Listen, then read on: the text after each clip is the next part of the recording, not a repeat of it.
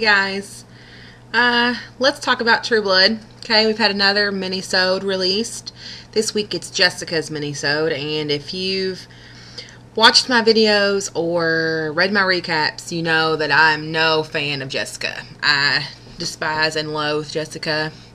I everything about her annoys me. I've never found her to be entertaining or interesting at all. This is not the popular opinion in the fandom. Most people love Jessica.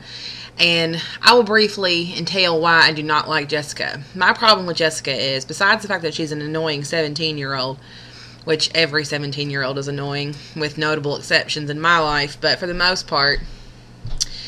And she is brought into the True Blood universe by the Magister, who makes Bill turn her into a vampire for killing Long Shadow. Well, she's a good go, a good Christian church going girl. She's turned into a vampire. She wakes up the next night and is so excited that she's a vampire because she doesn't have any rules anymore. She gets to curse and kill people, and it's just so exciting. Bill can't deal with her. He asks Eric to take her. Two weeks pass. Eric brings her back and says he can't deal with her either. When she walks in, she's dressed for like real slutty. You kind of get the impression that Eric let her eat people, not drink True Blood. And um, Bill is left with her and has to take care of her.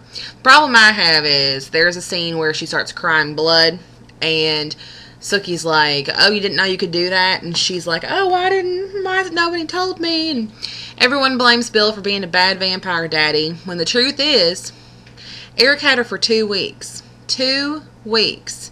And he didn't tell her that she's going to cry blood? Two weeks he had her. He taught her nothing. Did he just sit in the back room at Fangtasia and didn't tell her a word? She comes back to Bill and she's sweet and innocent again. She's wearing yellow sundresses and meeting Hoyt at uh, Merlotte's and it's she's all just so sweet and innocent and oh so darling and it, it's bad characterization. She goes from being good girl to wild child to good girl and Bill is blamed.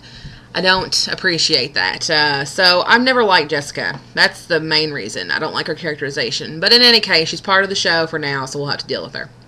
The mini-sode this week showed her in some kind of bar or casino or something. I'm not really sure. There were slot machines and like roulette tables, and they were kind of looking at her like she's too young to be here. So she sits down, and this old man comes up to her and starts talking to her and she you kind of get the impression that he understands she's a vampire but then somewhere along the line it kind of goes all wrong and he starts calling her a whore and flashing jesus pamphlets at her and she gets mad and it uh, kind of shows just how much of a kid she still is because she makes him scream i'm a pervert and i have a boner for jesus i don't know i don't know what that's about but then at the end, she meets a guy and he's like, hey, baby. And she's telling him how she's hungry and whatever. In any case, uh, it was short. It was sweet. Thank God. I can't stand her. So the less I see of her, the better.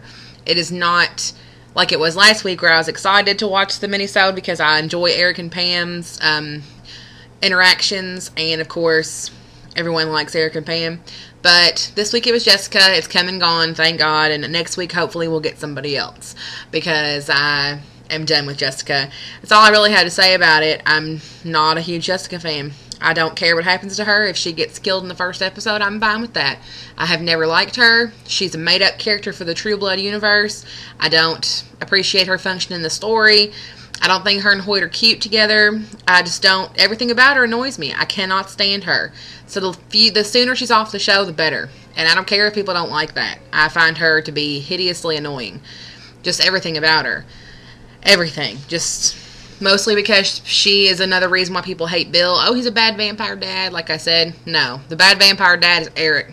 Eric had her for the first two weeks of her vampire life, and he's just scot free. It's not not his fault that she doesn't know anything. He's the one that should have been telling her all that stuff. She got dropped in Bill's lap when Eric told her that he'd take her. So Bill's done the best he can. He's been a little busy, wouldn't you say, having to be a vampire dad, all this other stuff going on.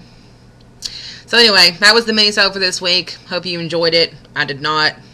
And we'll see what we have next week. Thanks for watching.